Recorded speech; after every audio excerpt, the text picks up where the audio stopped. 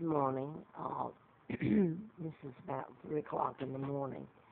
Yesterday, the reason I'm doing this tape this morning is I'm not in Roanoke, Virginia. Right at the moment, I'm a little bit out from it.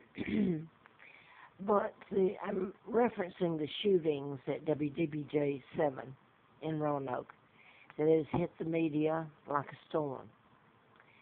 And I, uh, my phone and my video and everything have been down, or most of my phone, but I hope I get this on.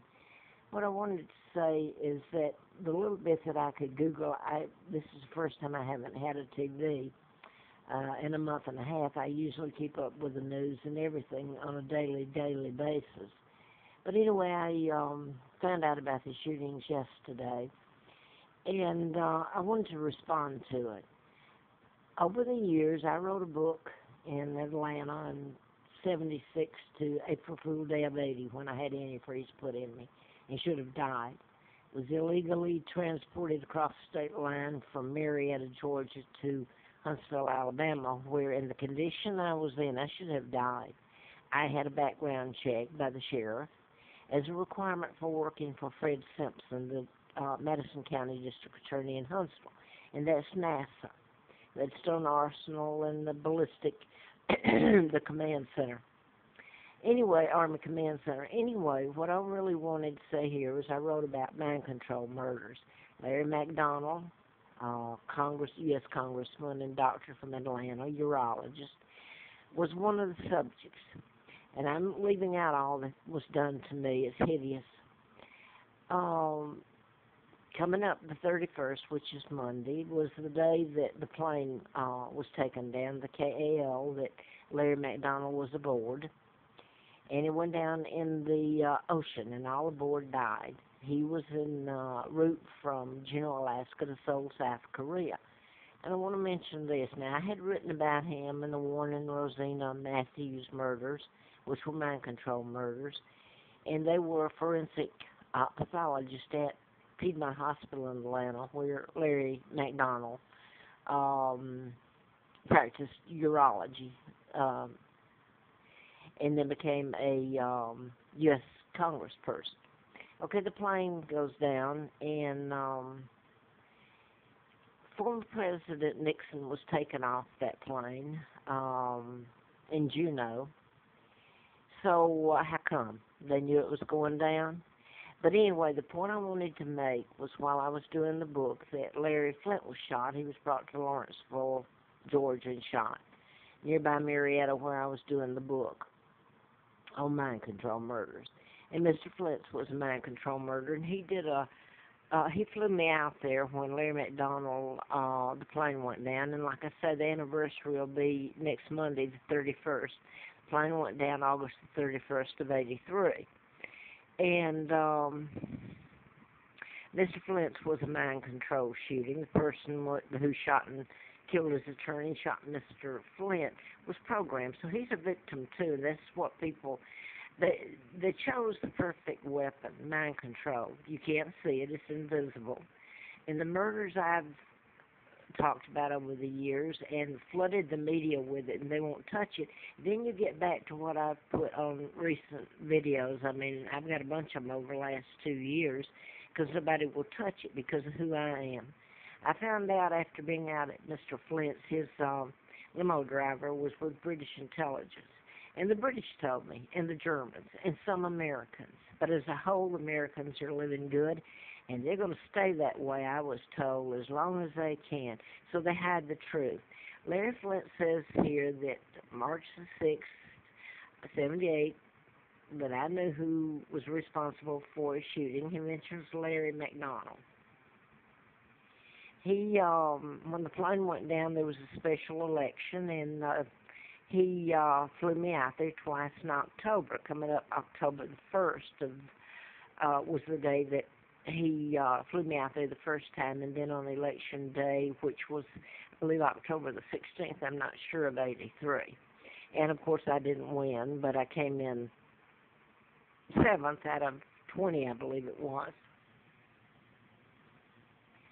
Now then, what I wanted to go to here is um, there's a long list of the murders that were done in patterns, and Scott Peterson was one of them, whose attorney was Mark Geragos, who I admire. I think he's one of the few honest uh, people, um, attorneys, whoever, people. So anyway, uh, I wanted to mention I'm up here, been here in Roanoke, didn't have a place to go. My job shut down, but uh, I had gotten a letter from the U.S. Attorney when I did the book, June the 23rd of um, 79, and um, uh, his name was uh, Harper, well, William Harper, and um, the it was in reference to the FBI investigation. And my book, I thought it really it boiled down to who I am and my kidnapping. I was brought to this country in '41, and my mother was born here, but I am not an American. I am British. Now then, um, the um, U.S. Attorney Harper said it was an ongoing investigation, national security involved. Well, you know where Ed, Edward Snowden, who tried to tell you Americans what was going on or the world, he's in Russia now. And uh, you know where uh, Assange, Julian Assange, uh, he tried to tell everybody with WikiLeaks, and um, you know he's had a, having a really rough time himself. So you can also imagine what's been done to me. I want to say this though about WDBJ7, Channel 10 here. I believe that's WSLS, and and all the um, you take you go back to Huntsville where I worked for the district attorney. You go back to Atlanta where I wrote the book, and so much happened.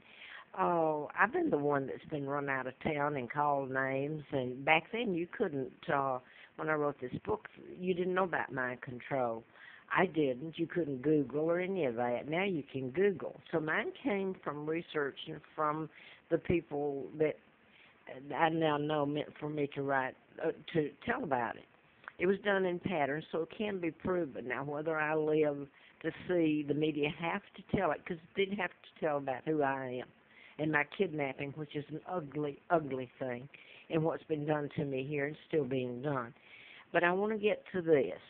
I went to WDBJ 7 I, constantly over the years since 86 when I came here with nothing on my back, nothing for when October, I believe it was 20th of 86. And I lived on the Appalachian Trail and froze and starved, and it's shocking the way I w- have been treated and what's been done to me. That's the least of it. But here's what I was telling. The um uh, Virginia Tech shootings, which was April the 16th of 07, I believe. 33 were shot. That was one of the program shootings. The shooter was under mind control. He's a victim too. This man was a psychiatrist, Fort Hood. Uh, I believe he's on death row, uh, but he finished school at Virginia Tech. He was born in Roanoke, uh, Vinton here. And um so there's a long list of these mind control murders, and they go back to celebrities that have been killed. Robin Williams supposedly committed suicide. Uh, you go back to Wayne Williams um, in the Atlanta uh, murders that happened. He's supposed to kill the black children, and they every so often they update it on CNN. So ask yourself why. But anyway, what they're doing with it. But anyway, the Sandy Hook. How would you like for your child to be programmed? He doesn't know he's being programmed. Um, his behavior modified, and have him shoot and kill or take a knife. However, uh, the Sandy Hook, uh, Adam Lanza, Lanza, that was mind control. The kid was under mind control. He had no um, control over his actions. He didn't even know he was going to do it. So you defame these people. Their lives are ruined. He's dead. His mother's dead. And I tried to tell about it. Yesterday on the bus, the van, I can hardly get on it anymore. I'm in such bad health. But I was trying to tell when I found out about WDBJ7, the shootings, and uh, people won't listen to you. They want a villain, and they don't want to go to who's doing the programming or the Americans that let it happen and shut it up, or the media and force them to tell it. Uh, and that's what's going to have to be done. uh, so I, I thought, well, I was talking to this. He was a black man or a black